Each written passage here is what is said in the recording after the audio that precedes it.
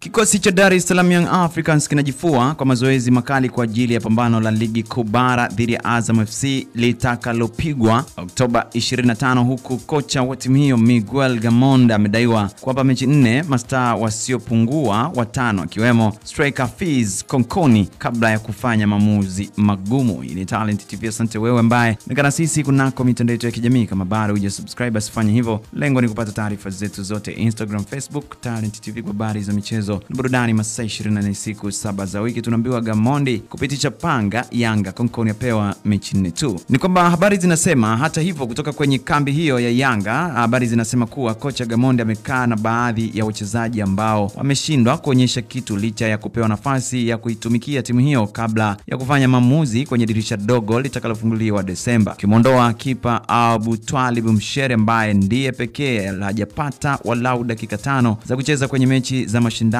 tangu arejee kutoka majeruhi, lakini waliosalia wote wamepata nafasi ya kucheza kuonyesha walichokuwa nacho. Chanzo hicho cha kuaminika kutoka kambi ya Yanga kimepiga stori na Talent TV na kusema kuwa tayari eh, Gamondi ana majina ya mastaa was, wasiopungua wanne wakiwemo washambuliaji Hafidh Konkon, Crispin Ngushi na beki kutoka Uganda Gift Fred aliyofanya nao mazungumzo ya moja kwa moja kuwataka waongeze bidii. Anasema tayari amewaonya wasiofanya vizuri, anawaza kuwatema kwenye dirisha dogo lijalo, kwani ana mpango wa kusajili striker mpya na wachezaji wengine kama wawili hivi. Mapema Gamondi amekaririwa na Talent TV akisema kuwa anataka wachezaji walio tayari kuipambania Yanga na kufikia malengo yao. Bwana, kufikia hapo mimi natamatisha, sina la ziada. Hii ni Talent TV. Asante wewe ambaye umekaa na sisi kunako mitandao yetu ya kijamii. Kama bado hujasubscribe, basi nakuomba fanya hivyo, lengo ni kupata taarifa zetu zote Instagram, Facebook, YouTube pia ni Talent TV, lakini pia unaweza kunifuatilia kwangu pale ikiwa ni Ali Mshana, eh, Instagram, Facebook, lakini pia na TikTok. Sina la ziada, asante na kwa heri.